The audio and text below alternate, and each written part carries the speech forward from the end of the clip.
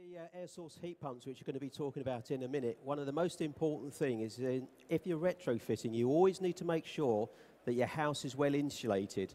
We're talking about loft insulation, cavity wall insulation, which we can see here. If you can't do cavity wall like I have in my house, my house built in 1901 has solid 9-inch walls.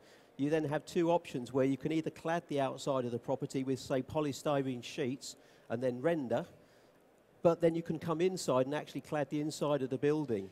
It's very, very important that you must actually get the insulation right for these systems to work most effective. Now, we've got two depths of insulation here. Why is that? Explain Well- that a bit to me. Well, it's new regulations. The more insulation you have on the right-hand side, the more heat you're going to retain, so therefore the less work that the actual heat pump is going to actually need to do to keep the house warm. Right, okay. Now, look, so it's just a simple case then of chucking the boiler off the wall and throwing up a pump, isn't it? Not quite. I mean, the boiler look, you're moving at the show moment, you. There it is. the boiler that you're moving at the moment is currently about 90% efficient. Now, with uh, retrofitting properties to a degree, that, that's quite good. When we talk about the heat pumps, which are behind my privy garden bush, these units can come in at about 300%, 400% efficient. But it does depend on atmospheric temperature. The- How cold is it outside, so to speak, or what is the temperature outside, and so therefore what can these actually produce? And what bits are different to the boiler install exactly? You know? Well, this particular unit we have on the left, there's no different as far as a plumber is concerned. Although the unit works on refrigeration technology, like your fridge in your kitchen, uh, if you can all imagine going home and looking at your fridge, you load the fridge up with your various food, bottle of wine, tin of beer. We know if we turn the fridge round 180, there's an element at the back of the fridge that gets hot. So in crudity, this is what we're talking about with air to water heat pumps. Turn your fridge round and you've now produced some sort of heat.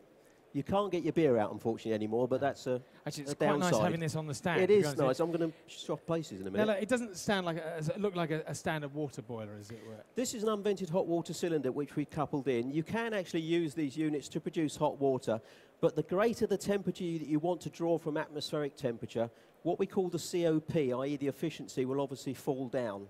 Realistically, what we're looking at these is ideally suited to underfloor heating, where underfloor heating, the temperatures are a lot lower requirements compared to, say, normal radiator system.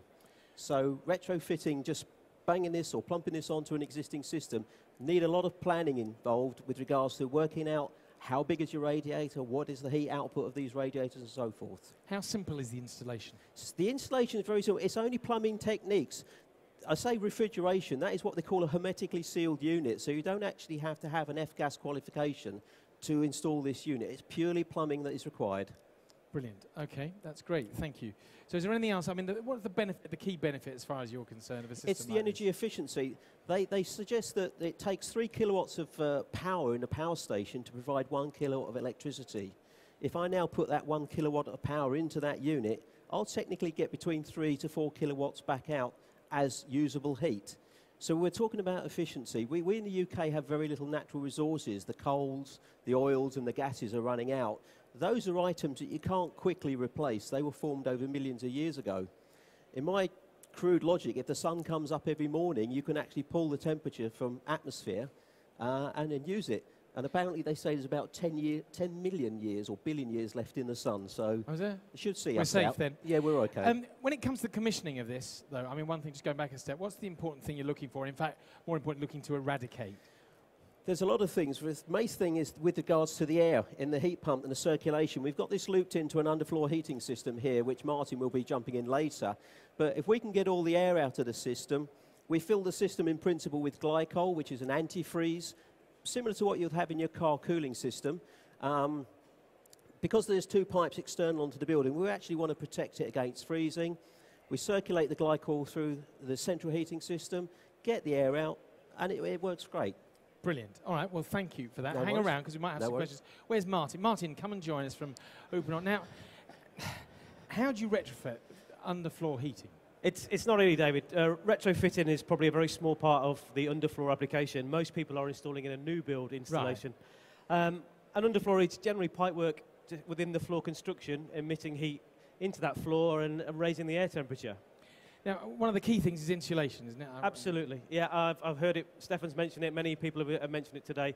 Insulation is critical, both in the walls, in the floors, and in the ceiling, yes. Um, when it comes to underfloor heating, there are two things you must control. Number one is the water temperature flowing through the, your circuit. And an underfloor will work with a, a gas boiler, oil boiler, or biomass, but also it marries, for me, perfectly with, with air source heat pumps, generally because the heat pump is the water temperature control for you. Now, just one thing about the floor finishes. Are any floor finishes better than others or worse than others? Yeah, there is, David. If I just take that back a bit, Yeah. its floor construction is, is quite critical as well. So Right. If you can bury the pipes in a concrete screeded floor, then you'll find that those that the floor will perform for you better. There's two ways of, of heating floor constructions. You either heat a thermal mass, which is typically a concrete screeded floor, or you'll heat an airspace or a plated system. So yeah, floor construction, but the general rule is screeded floor is the best, Right. no doubt. Right. Now, this is the sort of typical type of underfloor heating we expect to see, sort of the old worming of the, the Yep. pipes with uh, some clips and so on. But uh, you've got something new. Yeah, there is. Yeah, well, as you said, uh, on the floor here's what they commonly call the meander pattern. And The uh, meander pattern. meander pattern going up and down and dissipating the heat into the floor. It's quite critical about the pipe spacings when the installer installs it. Um, and this is a staple effect where pipe is fitted directly to insulation. It's the most common way they, they continue to do that, really, domestically and commercially. But there's a new system been launched in Germany a few years ago that Uponor now have started to bring into the UK. It's And called It looks like Velcro. it is a little bit like Velcro, yeah. It's a different type of insulation that you'll lay down on top of the floor construction. And then the pipework is actually laid and fitted directly to the insulation. And you're very true, it's very much like Velcro. Um, the stapling effect is always a two person fix, one person rolling the pipe, the second person stapling the pipe to the insulation.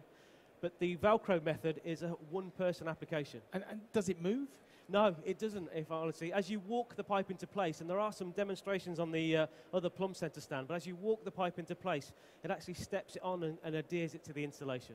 Of course, to say if there's any information you want from here, you can either get information at the Plumb Centre stand, or if you see one of the people, not me because I haven't got one, in a blue T-shirt, they've got scanners. They'll scan your passes and they'll send you the information from the relevant presentation or display and so on. I mean, the key benefits here, clearly. Absolutely. Uh, low water temperatures, Yeah. an invisible heat source, a silent running heat source are the, f- are the main features. And a well spread. Uh, yeah, no cold spots. Yeah. Right.